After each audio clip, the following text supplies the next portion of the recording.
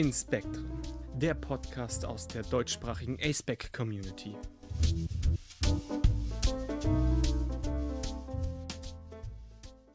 Hallo und herzlich willkommen zu einer neuen Folge von den Spektren. Mein Name ist Finn. Ich verstehe mich als aromantisch, Grey Ace und verwende keine Pronomen. Ich bin weiß, komme aus Österreich und bin 26 Jahre alt. Hallo, mein Name ist Getz, ich bin unterdessen 33. Ich bin eine weiße Cis-Frau, ähm, ich bin Arrow Ace und äh, komme aus der Schweiz. Ja, und ich freue mich äh, ganz besonders, dass wir heute euch ein neues Format äh, vorstellen können. Finn, magst du ein bisschen was darüber erzählen?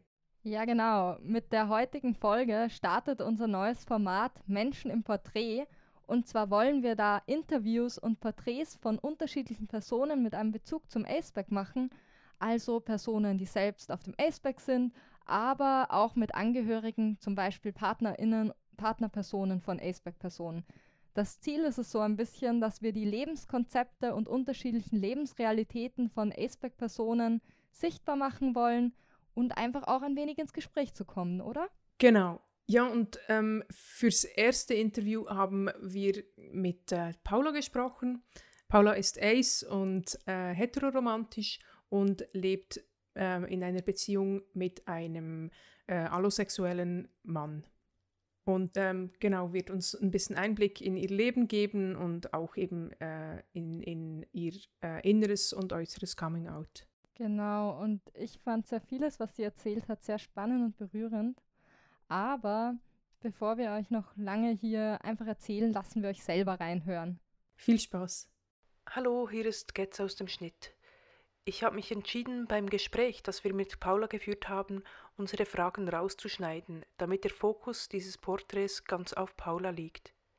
Wir werden in den nächsten Folgen von Menschen im Porträt verschiedene Varianten ausprobieren und uns dann wohl längerfristig für eine Form entscheiden. Gebt uns also gerne auch dazu eine Rückmeldung, wie ihr diese Form des Schnitts findet. Außerdem möchte ich euch an dieser Stelle auch noch auf die Kapitelmarken und Inhaltshinweise dieser Folge aufmerksam machen. Werft dort gerne einen Blick rein, um für euch zu entscheiden, ob es Sequenzen gibt, die ihr lieber überspringt oder ob die Folge von Themen handelt, die euch heute gerade nicht gut tun würden.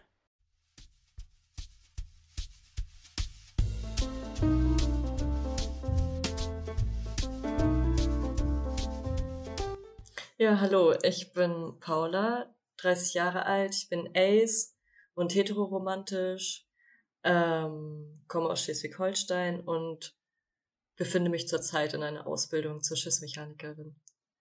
Von Asexualität habe ich das erste Mal eigentlich Ende 20 gehört und auch nur durch äh, soziale Netzwerke bin ich auf diesen Begriff gestoßen. Ich ähm, lebe zurzeit in einer Beziehung mit einem allosexuellen Menschen ähm, wir leben auch zusammen, kennen uns jetzt seit knapp einem Jahr aber erst. Und es war auch innerhalb der Beziehung, dass ich quasi die, auf diesen, also diesen Begriff erst für mich selber ähm, entdeckt habe. Ja, ich mache halt eine Ausbildung zur Schiffsmechanikerin. Das heißt, dass ich quasi, das ist, das ist eine Ausbildung, die gibt es nur in Deutschland. Und das ist eigentlich eine Ausbildung als Matrosin. Also, dass ich quasi an Deck äh, auf dem Schiff arbeite, genauso wie in der Maschine und auf Brücke. Ähm, ja, genau. Und dementsprechend, ja, das alles lerne. Also, ähm, ja, ich weiß nicht, ob man sich unter Matrosin halt was vorstellen kann. einfach für alles zuständig so und, und nimmt halt äh, ne, Aufträge entgegen, so Instandsetzung, ähm, Wartung, äh, Ausguck auf der Brücke, Steuern auf Befehl, solche Sachen. Genau, und ich bin halt immer äh, eine Woche unterwegs auf der Ostsee und dann habe ich eine Woche frei. Weil ich quasi in der Woche, die ich unterwegs bin, halt äh, so viele Überstunden mache, dass ich die dann eine Woche abbummeln kann.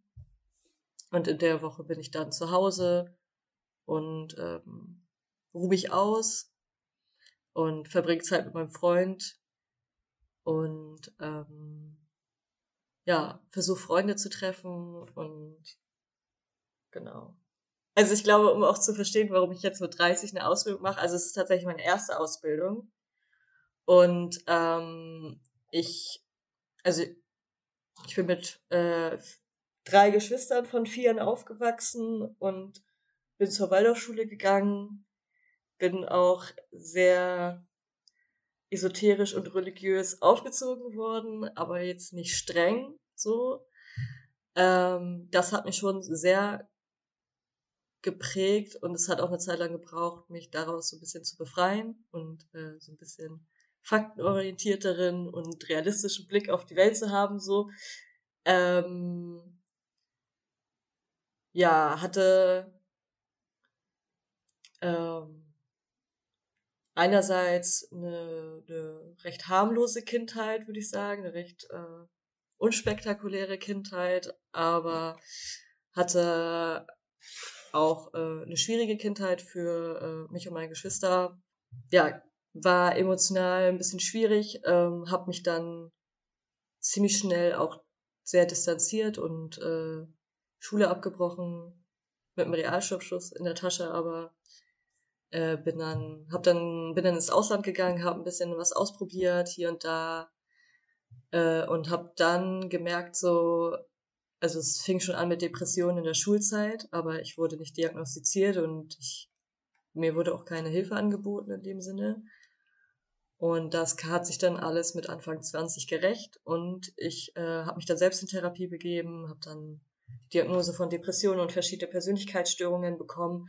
Und das hat einfach sehr viele Jahre meines Lebens so gefressen, ähm, weil ich dadurch ganz lange nicht arbeitsfähig war ähm, und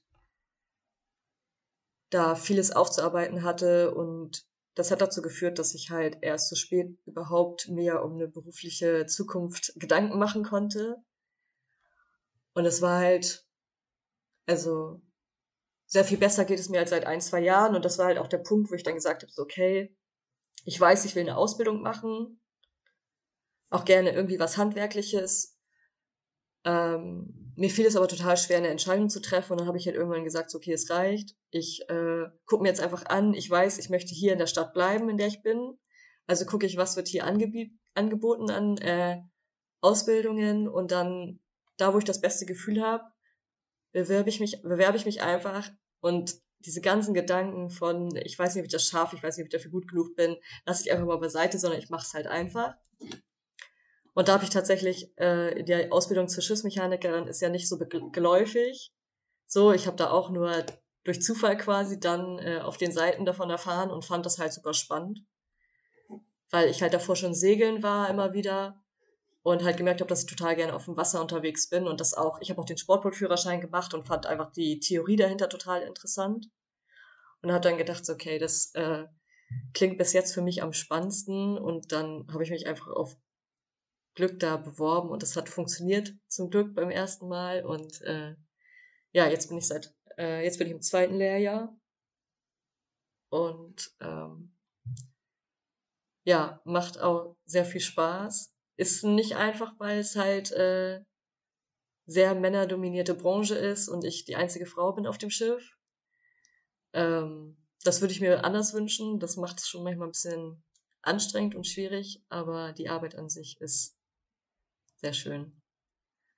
Ich bin eine Cis-Frau, aber ich ähm, war schon, hatte schon mal große Schwierigkeit mit dem, was daraufhin von mir erwartet wurde. Also es war schon in der Jugend so, dass ich halt so diese typischen Sachen, die man Mädchen zugeschrieben hat, nicht interessant fand. So. Ähm, und es leider auch entwertet habe bei anderen Mädchen.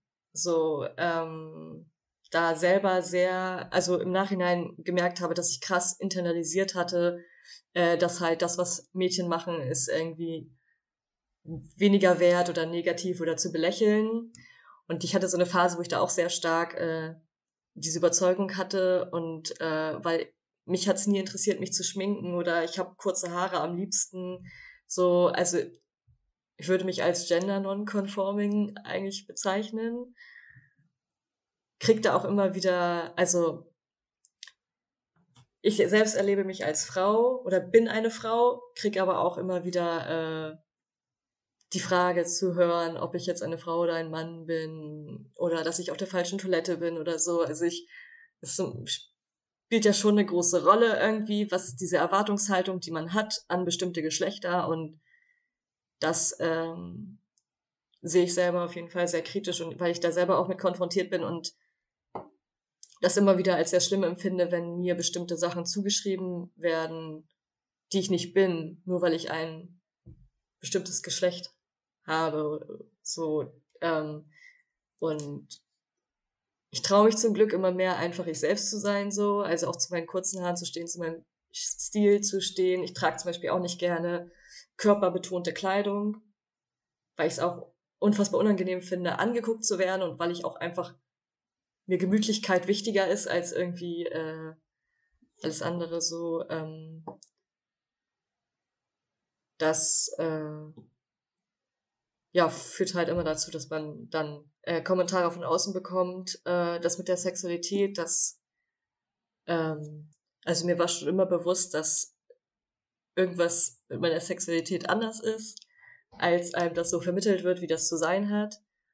Und ich hatte aber nie einen Begriff dafür und war auch davon überzeugt, dass es halt etwas gibt, was ich verändern kann, so.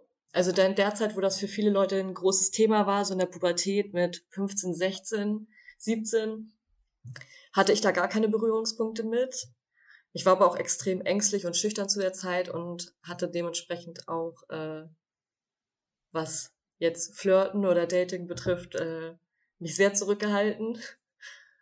Und ähm, das hab dann mit 20 das erste Mal sexuellen Kontakt gehabt, aber nicht, weil ich das wollte, sondern weil ich schon immer ein großes Bedürfnis nach äh, romantischen Beziehungen hatte. Ich merke schon, ich bin auch jemand, ich möchte mir schon eine Zukunft mit jemandem vorstellen oder ich möchte ähm, mein Leben gemeinsam organisieren mit einer anderen Person zusammen. Also ähm, ich genieße das einfach total, wenn ich halt einen Menschen an meiner Seite habe, mit dem ich quasi fast alles teilen kann, wo das sowohl ähm, alltagstechnisch als auch so ähm, die intimsten Dinge miteinander ähm, ja, diese Intimität, die man, die ich so in Freundschaften nicht erlebe, die ist mir halt total wichtig. So, und ich bin auch jemand, ich kuschel total gerne, ich brauche auch viel Körperkontakt. Ähm, aber das kann ich auch nicht mit jedem. So, da brauche ich auch halt eine Person, die mir sehr nahe steht, um das so zulassen zu können. Und ja, da auch auf der Suche nach war und ähm, das sich ergeben hatte mit 20, äh, meine erste richtige Beziehung. Und ich halt verinnerlicht hatte, dass wenn ich in einer Beziehung bin, muss ich Sex haben. Das gehört dazu. Und es wird ja auch langsam mal Zeit. Ich bin ja auch schon so alt und so und war sehr in diesem Denken, dass äh, das, was mir so äh, erzählt wurde, wie das, also dass jeder dieses Bedürfnis hat, dass wenn du das Bedürfnis nicht hast, dann hat das irgendwelche gesundheitlichen Gründe oder irgendwelche Sachen, die du erlebt hast, sind der Grund dafür so und das äh,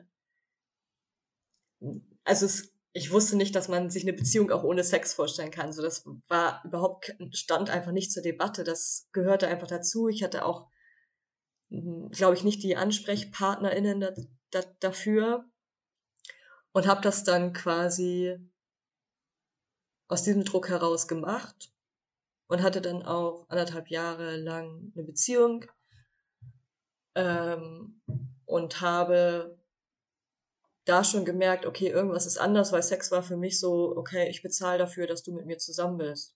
So, also es war für mich eine Art und Weise, mir eine romantische Beziehung zu ermöglichen, aber es war nicht, dass ich äh, Lust hatte oder dass ich das wollte oder dass ich das irgendwie, dass das für mich eine große Rolle gespielt hat, sondern es war viel auch die Angst, verlassen zu werden, wenn ich äh, keinen Sex habe. So, oder wenn ich, wenn ich quasi der anderen Person keinen Sex ermögliche.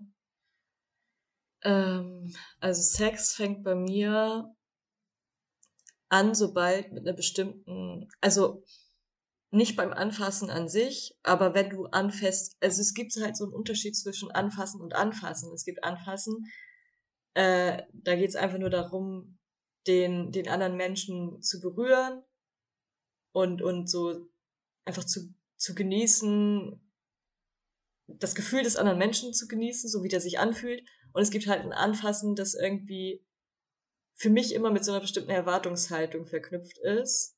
Oder wo es halt darum geht, ich, ich, also ich merke auch an der Berührung, ob jemand jetzt möchte, dass ich dabei Erregung empfinde oder nicht. So, und ähm, wenn da, wenn das ein forderndes Anfassen ist, dann ist es für mich okay, da möchte jemand, dass ich jetzt eine Reaktion darauf zeige und das setzt mich enorm unter Druck. Und dann merke ich so, oh Gott, äh, das ist, äh, damit kann ich nicht umgehen, so, oder das, das ist mir zu viel. Also, ähm, ich werde gern einfach gestreichelt nur des Streichels willen und nicht, weil daraus jetzt eine sexuelle Handlung werden soll. Also ich finde, vielleicht ist das der Unterschied, dass wenn ich auf ähm, so ähm, das fängt vielleicht da an, wo man sich berührt und so ein bestimmtes Ziel vor Augen hat. Also es muss ja nicht der Orgasmus sein, aber so dieses, dass du halt erregt miteinander interagierst, so. Und dieses Erregen ist bei mir aber sehr selten bis gar nicht vorhanden. Dementsprechend ist das erstmal einfach ein Riesendruck und äh, das Gefühl, so ich, es wird was von mir erwartet, was ich nicht kann, so und äh, ja, ich finde das schwierig zu definieren, glaube ich.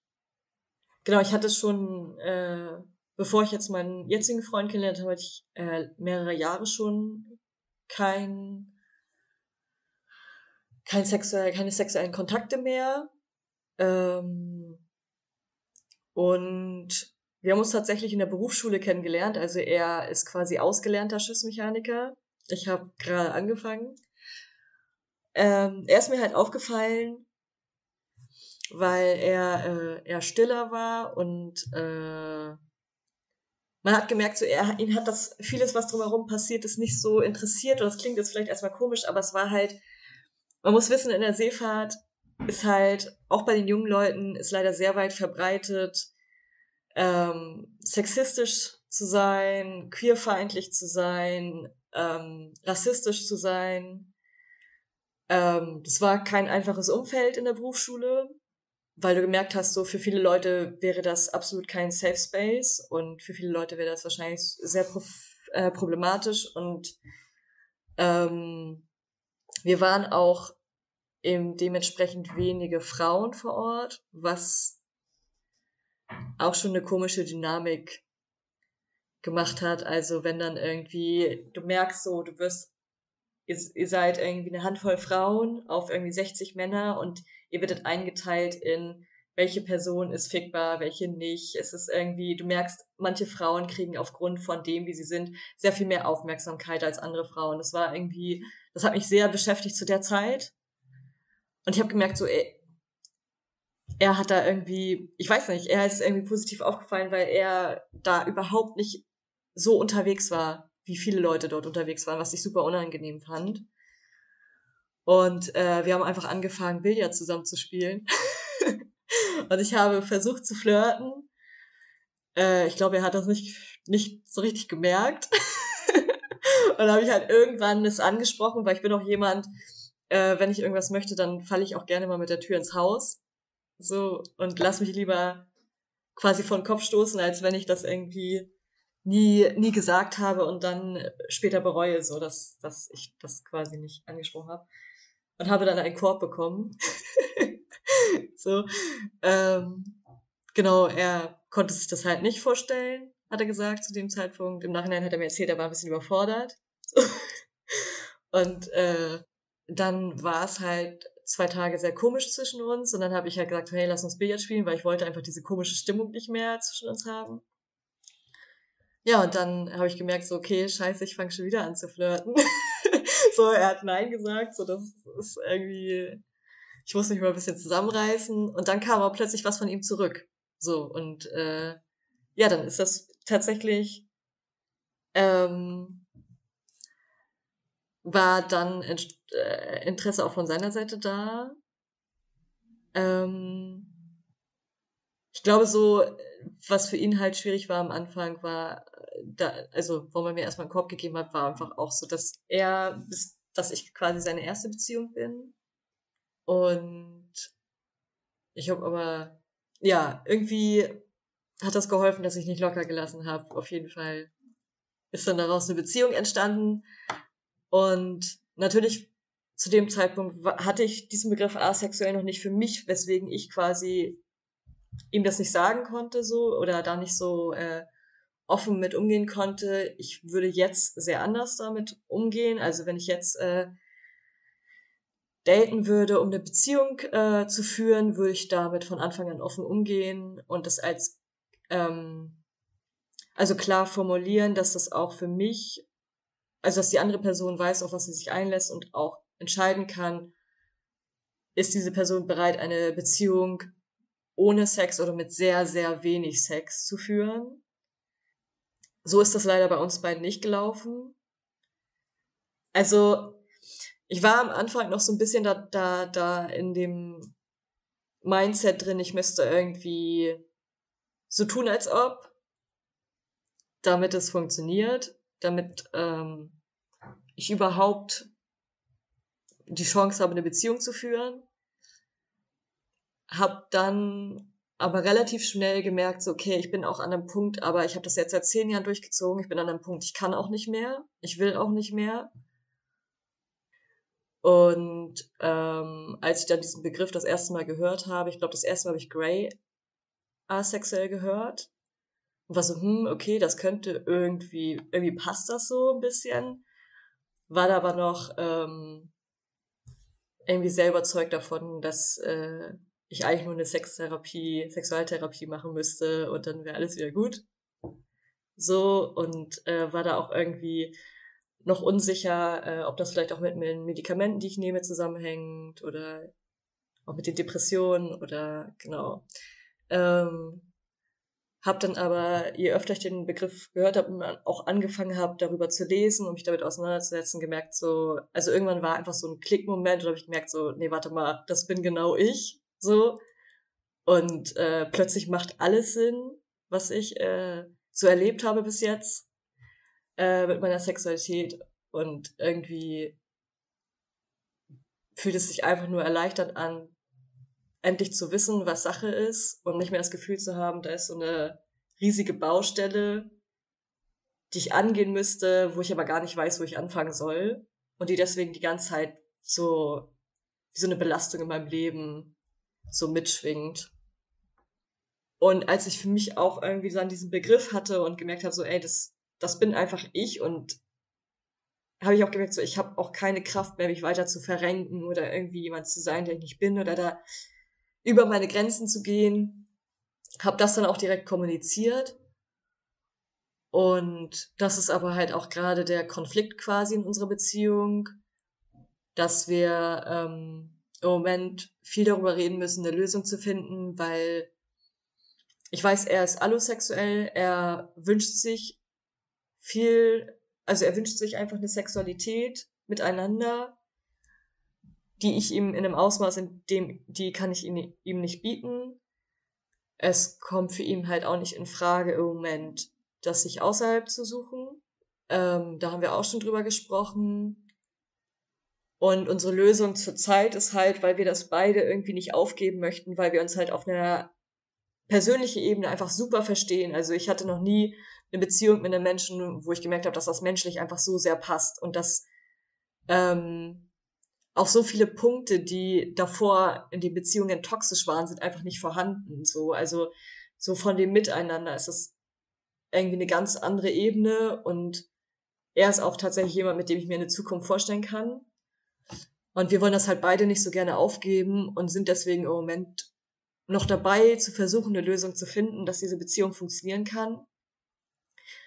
Es ist aber auch klar von seiner Seite, dass ähm, er sich langfristig keine Beziehung ohne Sex vorstellen kann. Das heißt, im schlimmsten Fall würde das dann bedeuten, dass wir uns halt trennen müssen. Also dass die, dass wir getrennte Wege gehen müssen. Äh, Im Moment, das war so ein bisschen Initiative von ihm, zu sagen, so, er braucht es, den Körperkontakt zu reduzieren, um halt sexuell nicht so frustriert zu sein durch Berührungen, die sonst da sind. Das hat ein bisschen Ruhe in die Beziehung reingebracht. Also ist für mich auch schwer, weil ich eigentlich Körperkontakt halt viel brauche. So. Und äh, aber ich halt auch aber es halt natürlich auch schwierig ist, wenn ich ihn gerne anfasse und gerne Körperkontakt habe, das bei ihm aber zu einer Reaktion führt, die ich überhaupt, also die bei mir aber gar nicht, äh, also ich berühre nicht und denke, okay, jetzt bin ich richtig geil, jetzt will ich Sex, sondern ich berühre ihn und denke mir einfach, oh, es ist schön, ihn anzufassen. Aber mehr passiert bei mir nicht. So, und das ist natürlich, da merkt man natürlich, das geht total auseinander da und dann äh, versuche ich halt gerade auch erstmal zu respektieren, so okay, ähm, die Berührung halt ähm, sehr wenig zu halten und vor allen Dingen halt dann freundschaftlich sich zu berühren, um halt für ihn den Druck rauszunehmen. Aber es ist natürlich jetzt erstmal nur eine Lösung äh, für eine bestimmte Zeit. Aber verschafft uns halt ein bisschen Zeit und Ruhe, um im Gespräch zu gucken. Und ich bin deswegen jetzt auch bei dem Server Aceback German angemeldet, um auch mich mit, mit anderen Menschen auszutauschen, was es halt für Lösungen geben kann, um diese Beziehung weiterzuführen. So, das ist gerade ja Thema in unserer Beziehung. Oder das ist, dadurch ist die Asexualität gerade, glaube ich, mehr Thema in meinem Leben, als sie das normalerweise wäre. Ähm, weil wenn ich mir vorstellen würde, ich hätte das rausgefunden und wäre Single gewesen, dann hätte ich, glaube ich, mich nur diesem Gefühl der Erleichterung hingeben können. Und das äh, und ähm, hätte mich da anders nochmal mit auseinandersetzen können, weil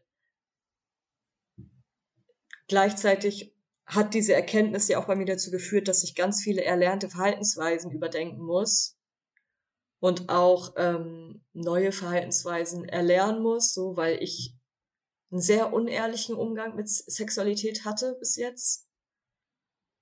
Und ähm, sehr wenig meine eigenen Grenzen kommuniziert habe und das äh, ist natürlich jetzt eine andere Herausforderung, ehrlich damit umzugehen, vor allen Dingen diese ganzen erlernten, ähm, die, diese, diese, äh, diese Glaubenssätze oder diese, diese, dieses, dieses bestimmte Bild, diese erlernten Vorstellungen halt, wie es zu sein hat oder wie ich mich zu verhalten habe da jetzt irgendwie ähm, was anderes hinzusetzen. Also zu merken, so, hey, ich darf sagen, ich habe gerade keine Lust, ich bin niemandem Sex schuldig.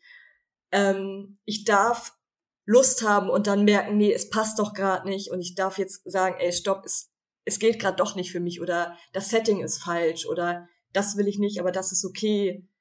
Und nicht dieses, wo es so darum ging, einfach der anderen Person zu gefallen um halt diese Beziehung nicht zu verlieren.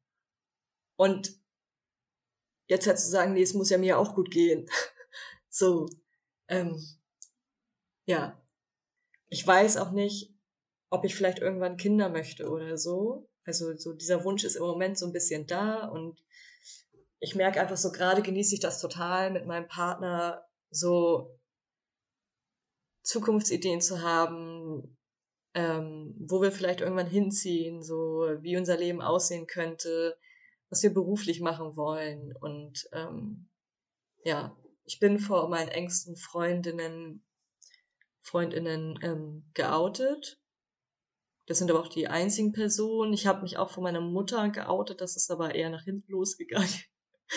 da, also, da habe ich gemerkt, so da, da kam sehr diese, diese Normvorstellung raus, dass das nur eine Phase ist und dass Sex ja sowas Tolles ist und äh, dass das mit meinen Medikamenten zusammenhängt und ähm, aber bei meinen Freundinnen ähm, habe ich auf also habe ich sehr viel Verständnis bekommen oder also meine Schwierigkeiten mit Sex habe ich immer irgendwie kommuniziert. Deswegen war das für sie jetzt nicht überraschend, so dass ich halt für mich rausgefunden habe, dass ich asexuell bin. Ähm, und mit denen kann ich auch darüber reden. Bei einer Freundin habe ich mich tatsächlich auf dem CSD geoutet. weil ich ähm, das erste Mal auf dem CSD war quasi mit diesem Wissen, dass ich Ace bin und dementsprechend auch äh, Nagellack aufgetragen hatte in den Farben und äh, so ein Bändchen hatte in den Farben und dann einfach äh, genau ihr das so erzählt habe im, äh, vor, vorher, damit sie irgendwie auch weiß, so okay, ähm, ich wollte irgendwie, dass sie weiß, so warum ich auch hier bin oder was, äh, warum ich auch diese Farben trage. Und ähm, ich glaube, anderen, äh, meinen anderen Freundinnen hatte ich das im Park einfach bei einem Picknick erzählt. So, ich glaube, das war sehr, also ich glaube, nachdem ich das rausgefunden habe, war so die, die, wenn ich eine Freundin getroffen habe, war das das erste, also war das einfach so, beim nächsten Treffen habe ich das halt de, den entsprechenden Personen erzählt. So, ich habe, ich weiß, ich habe gesagt so, ähm, dass ich halt für mich rausgefunden habe oder dass ich das Gefühl habe, dass ich asexuell bin und wenn dann die Frage, also wenn die Person nichts damit anfangen konnte, habe ich halt einfach den Begriff nochmal erklärt und auch so ein bisschen gesagt, ähm, woran ich das bei mir festmache oder ähm, was es genau konkret für mich bedeutet. So, ich habe mich auch bei meiner Schwester tatsächlich geoutet, die ist selber queer. Und ähm, ist auch total schön, weil sie das auch genutzt hat, um sich bei mir zu outen, so ein bisschen. das äh, ja, war irgendwie ein sehr schönes Gespräch dann. Ich merke halt, das ist für mich nochmal was anderes, mit Menschen zu sprechen, die selber ähm, asexuell sind und dann vielleicht bestimmte Dinge besser nachempfinden können und selber ja Erfahrungen haben damit und dann vielleicht Tipps haben oder, oder Blickwinkel, Blickwinkel haben, die ich selber so noch nicht eingenommen habe oder wo ich selber noch nicht drauf gekommen bin. Das habe ich, glaube ich, jetzt so auch auf dem Server mitbekommen, dass das für viele äh, Ace-Menschen ein, ein Thema ist. Eine Beziehung mit einem allosexuellen Menschen zu führen, ist ja dann immer irgendwie schwierig oder bedarf halt viel Kommunikation oder, oder Kompromissen auch. Also, ich muss sagen, dass ich im Nachhinein das sehr problematisch und schade finde, dass die Aufklärung da so versagt hier in Deutschland. Also, dass ich äh, Ende 20 sein muss, um das erste Mal überhaupt zu erfahren, dass es so etwas wie Asexualität oder Aromantik gibt. Ähm, das hätte mir sehr viel erspart, hätte ich das früher gewusst hätte ich mehr Aufklärung erfahren, hätte ich mehr Unterstützung erfahren. Ähm, ich habe, weil ich dadurch sehr viel aus äh, sehr falschen Gründen Sex hatte und ähm, es auch gar nicht für mich ähm, denkbar war, dass es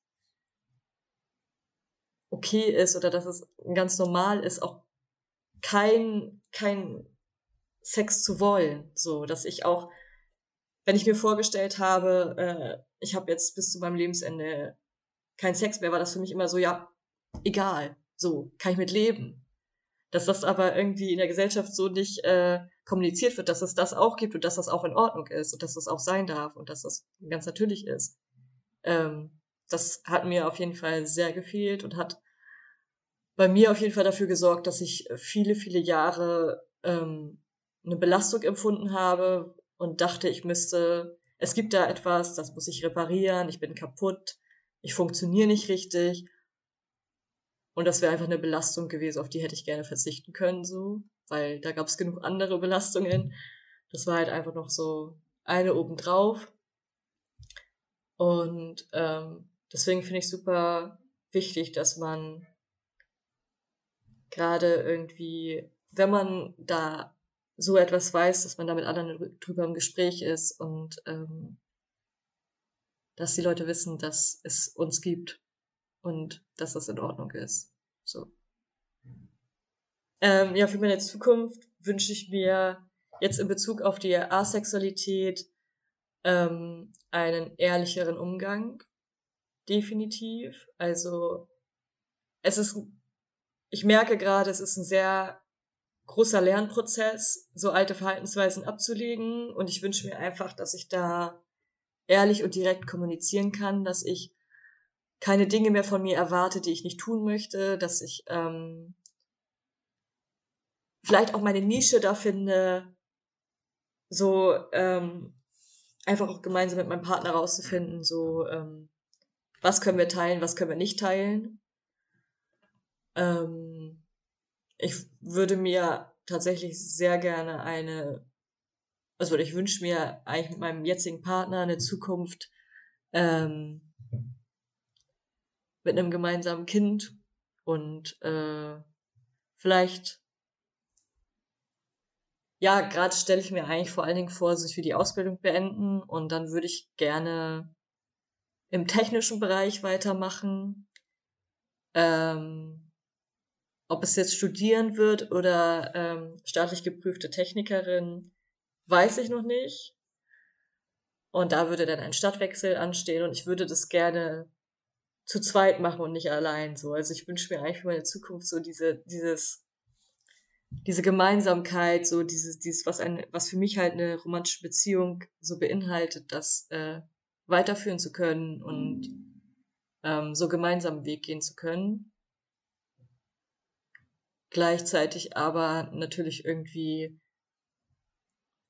auch mich selbst dabei nicht zu verlieren und ähm, mir Raum und Zeit zu nehmen, sich mich auch mit meinen Themen auseinanderzusetzen und ähm, ein Leben zu führen, das wirklich mir entspricht und nicht äh, irgendwelchen Erwartungen oder irgendwelchen Normen.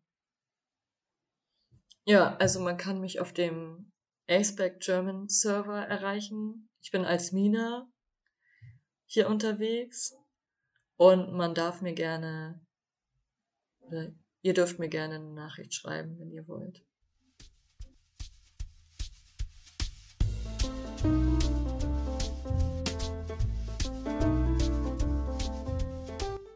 Boah, das war ein echt äh, eindrückliches Gespräch. Wie geht's dir jetzt, Finn, äh, nachdem du es gehört hast? Ja, also ich fand das auch voll krass und schön und echt auch, wie du sagst, eindrücklich und besonders halt, was Paula erzählt hat von ihrer Beziehung zu einer Allo-Person, das, also ich meine, das ist was, da wird immer so, also ich finde schon relativ viel darüber geredet und das ist ein großes Thema in der Community, aber dann auch mal wirklich von einer Person zu hören, die diese Beziehung hat oder so eine Beziehung hat, das fand ich schon sehr bewegend und auch für, da war ja auch sehr viel Offenheit, die Paula auch mitgebracht hat und auch schon Reflexion, das fand ich echt toll. Mhm. Es, es, hat mir auch nochmal wirklich viel so äh, Einblick gegeben, auch in, ähm, also ich, es gibt so Bereiche, wo ich, wo ich sehr viel auch anknüpfen kann, gerade was so Gender-Identität äh, angeht, äh, wie das Paula beschreibt. Und dann aber halt ähm, die, die äh, romantischen Gefühle, die ich selber gar nicht kenne, fand ich, hat sie unglaublich, ähm, für mich unglaublich hilfreich auch beschrieben. Ja, und ich glaube, an dieser Stelle bleibt uns vor allem noch, ähm, noch mal ein riesengroßes Dankeschön äh, auszusprechen. Total. Danke, Paula. Wirklich. Und dann würde ich gleich übergehen, dafür dir, Gaps, dafür zu danken, dass du den Schnitt machen wirst. Und euch, liebe ZuhörerInnen, aufrufen zur Rückmeldung. Wenn ihr Feedback, Anmerkungen, Beschwerden, Lob, keine Ahnung, uns irgendetwas zu sagen habt, einen Kommentar oder Verbesserungsvorschläge, dann meldet euch gerne Ihr könnt uns erreichen auf unserer Homepage inspektren.eu, wo ihr direkt und die Folgen kommentieren könnt. Natürlich dann auch auf unserem Instagram-Kanal inspektren-podcast. Auf Facebook und auf Twitter und auf Mastodon findet ihr uns auch. Außerdem haben wir einen YouTube-Channel, aber das ist alles auch in den Shownotes verlinkt. Dann könnt ihr uns natürlich per E-Mail erreichen an unsere E-Mail-Adresse inspektren.gmx.net und findet uns natürlich wie immer auch auf dem Aceback German Discord Server, wo wir uns ab und zu im Voice Chat blicken lassen oder auch einen eigenen Kanal haben, wenn ihr dort hineinschreiben wollt. Ja, damit wäre die Folge jetzt wirklich aus und es bleibt mir noch Tschüss zu sagen. Tschüss. Tschüss.